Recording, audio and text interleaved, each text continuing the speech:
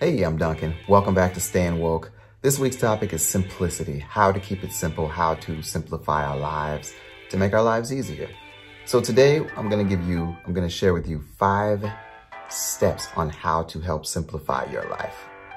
Here we go. Number one, declutter your living space.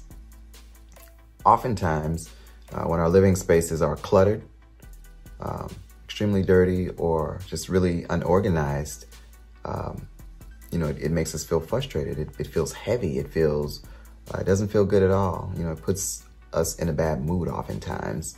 Uh, and the more we can unclutter our living space, organize our living space, um, one small space at a time, uh, just pace yourself, you know, declutter your living space. And when we do that, we feel more, um, more energetic, we feel more productive. Declutter your living space. Number two, get rid of bad mental habits. Uh, oftentimes things happen to us. Um, we focus on, you know, the negative parts of things. We um, get stuck in the past. We focus on the past. And these things can be extremely heavy psychologically. Um, so the sooner we can form better mental habits, positive mental habits, um, the sooner we can simplify. Number three, cutting out toxic people.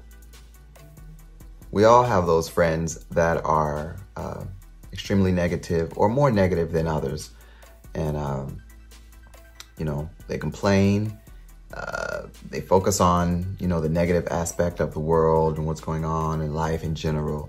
And uh, believe it or not, these friends can take a large percentage of our time. These friends can expose us to uh, toxic environments.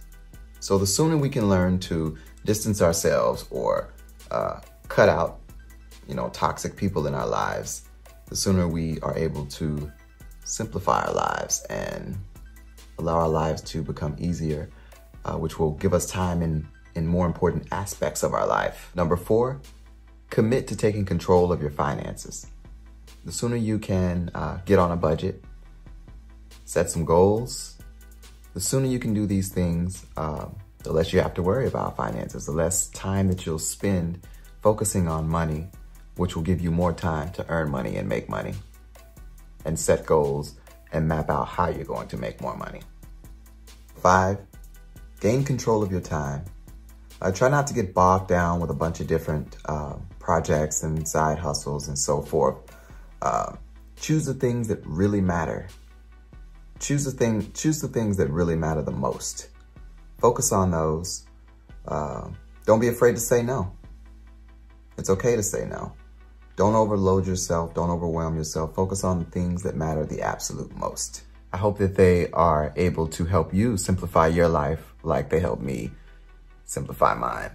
I appreciate you watching. And if you are interested in any aspect of the cannabis industry, the culture, um, anything, please head over to Duncan's Dab Lab 420 on Instagram. Uh, Duncan's Dab Lab, get lifted on YouTube for cannabis culture.